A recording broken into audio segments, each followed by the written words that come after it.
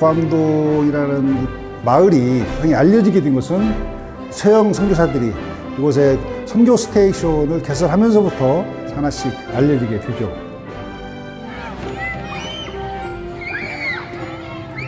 칠인의 선교사들이 미국에서 확인되어 와가지고 그때 이분들이 나왔을 때가 동화 경무행하고 이렇게 맞물립니다. 처음에 와가지고 바로 활동을 하는 게 아니라 한글을 배우고 그런 과정을 거치고 1894년 봄에 레이놀드 선교사가 저 인천에서 배를 타고 이쪽으로 내려오죠. 군산에 처음부터 온 건 아니고 임피를 거쳐가지고 답사를 다녔거든요. 1895년 수덕산에다가 포교소를 설치하고 초가 두 채를 구입해가지고 어, 포교 활동과 또 그 의료 선교사하고 같이 이제 병행을 합니다. 군산이 1899년 5월 1일 개항을 하고 각국 조계지로 거기에 이렇게 끼게 되니까 거기서 떠나가지고 이쪽 구암포 여기에다가 자리를 잡게 되죠. 1899년 가을입니다.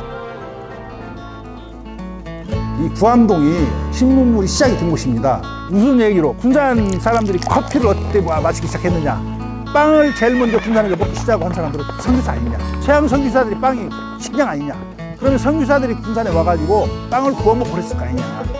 밥을 계속 먹을 줄 알 것이고 그러면 여기에서 구암동 주민들이 선교사들한테 빵 조각 한두 먹이라도 얻어 먹었을 거 아닙니까? 우유도 그렇고 우유를 직접 짜서 먹었다고 그래요.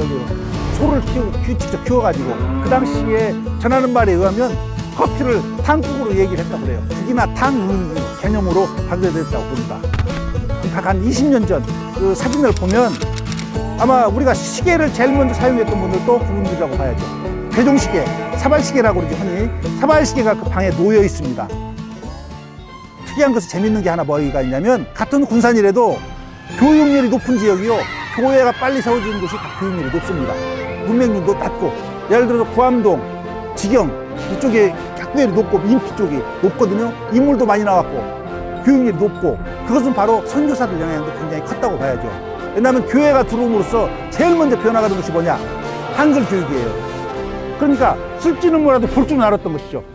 그걸 이제 우리 암클이라고 그러는데 성기사들이 들어오면서 찬송가를 불렀잖아요. 그 당시 옛날 찬송가를 보면 글이 굉장히 큽니다.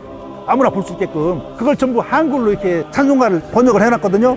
그러면 그걸 쓸 줄은 몰랐지만 다 읽을 줄은 알았던 거예요. 그 당시에 50뭐 노인들이 그런 것을 보더라도 한글 교육이 자연적으로 이루어졌던 것이죠. 구암동의 의미는 다른 게 아니라 나하고 관계없는 것은 우리가 망각하고 잊어버리기가 쉽거든요.